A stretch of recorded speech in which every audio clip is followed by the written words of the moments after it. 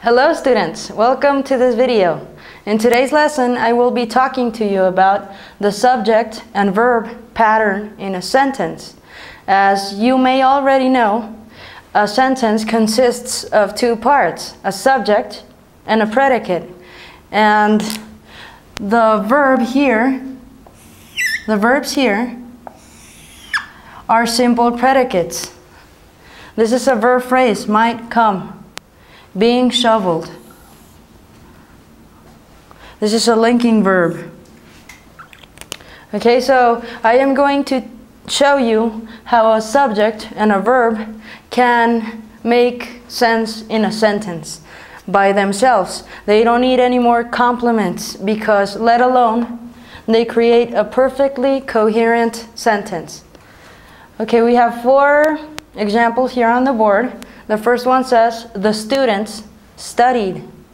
The students is the subject of the sentence.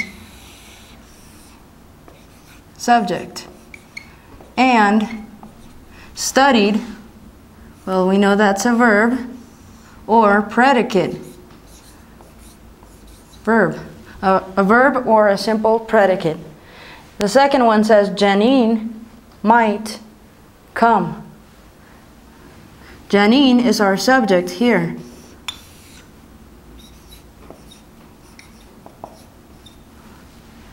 And might come would be our verb phrase or our verb. Verb phrase. So as you can see here, these sentences make perfect sense. The students studied, period. You don't need any more complements. You just, the subject and the verb. The snow is being shoveled. This is a verb phrase with a linking verb. And we know the snow is the subject.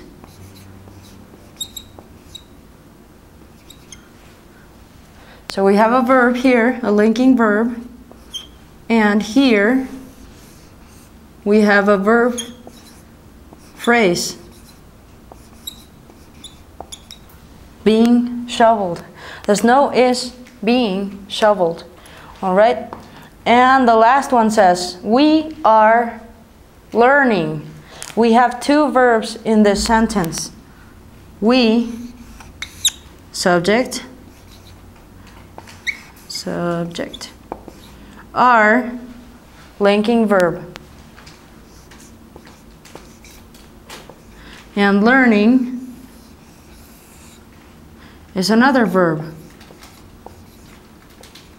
in gerund form.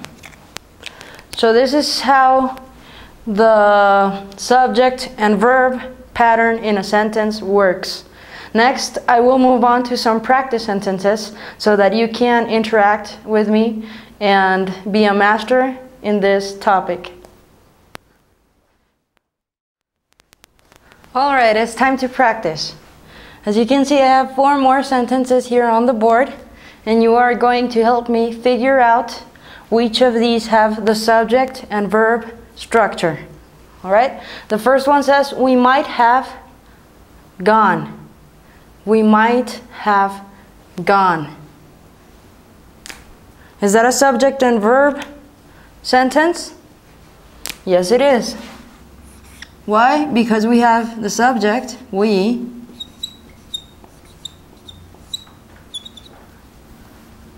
and the verb phrase, might have gone. Verb phrase. All right?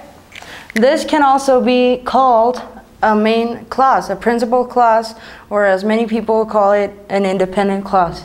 We might have gone, because let alone it makes sense, and it can be a sentence, or it is a sentence. Right? The next one says, they learned. They learned. We have a subject, and we have the verb. Verb. So this makes perfect sense. You don't need to complement it. It could also be called an independent clause, right? They learned. Period. You don't need any more complements. You just need the subject and verb. So this is correct. The next one says, we ran quickly to the store. We. We have the subject. We have the verb, ran. But here we have a complement to the sentence. So this is not a subject-verb sentence. And this last one says, correcting this is easy. Correcting this is easy. What do you think? No. It's not a subject and verb sentence either. Subject and verb sentences are very simple. We might have gone. They learned. You ran. And they make perfect sense by themselves as a sentence. All right? So next I'm going to leave you some homework. Remember to do it because in order to improve your English, you need to practice as much as you can. For homework, you are going to write four sentences, four subject verb sentences. Very simple. I ran. She came. They make perfect sense by themselves. So if you have a workbook, go ahead and do your homework in your workbook. And if you don't, please leave your homework in the comment section below this video. Thank you so much for watching and I'll see you next time.